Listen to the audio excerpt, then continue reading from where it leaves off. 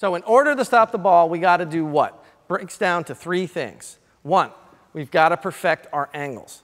Sort of what we were talking about today. Actually, one of my drills was the reverse, reverse arc today. That's perfecting your angles, right? We want to be able to stay as square as possible to the shooting shoulder.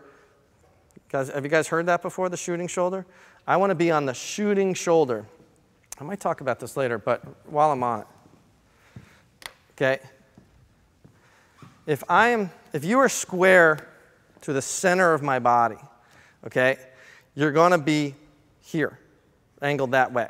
Instead of, if I have it righty, it, the ball is going to be coming. So let's look, look, at it this way. I put a camera in the um, goal, back to goalie nerd stuff.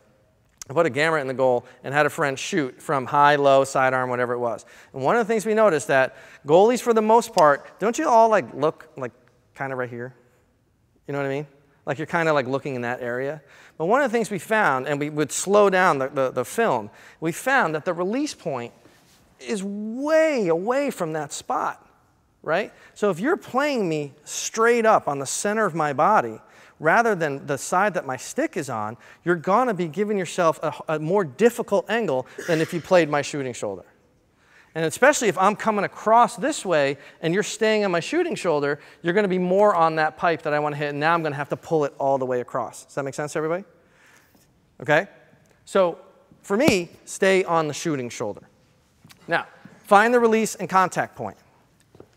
We're going to talk about that in a little bit. And then a consistent aggressive mindset. Now, if you feel that you play better with a relaxed mindset, like you don't get too amped up, that's fine. But at some point, you have to be aggressive in, in how you're moving. And if you think about um, Coach Turner, Galloway, and Gilliman in that video, you know, they, they are moving aggressively, even though they might be um, relaxed. Does that make sense? You know what I mean? So I don't want you to say like, oh no, I, uh, you know, I have to be intense because Coach Buck told me. That's not what I'm saying. I'm saying that your aggressive movements have to be there. They have to be there. Now, that could be like, uh, well, look at it in a sec. Coach Galloway's first save in that video, he just does this. He doesn't step, he just moves his hands. And it's an aggressive sort of move, right? But one of the things you also see with Coach Galloway is every time he makes a save, it's he's fired up. That has to happen before the shot. We'll talk about that more in a second. Okay? Three things perfect your angles, release point, contact point, you got to see it, and then be an aggressive, be an aggressive mindset. Oh, we just talked, okay, that's what we talked about. Oh, here's another thing too.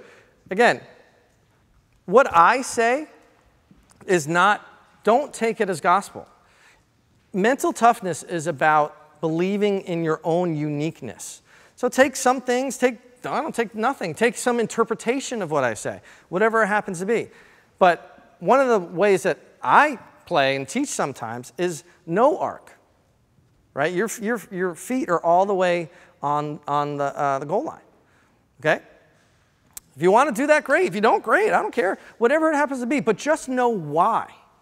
Don't do it because someone told me. Uh, even if someone told you and you do it, just say, well, because I agree with that. That's why I like it. I play more aggressive with a higher arc.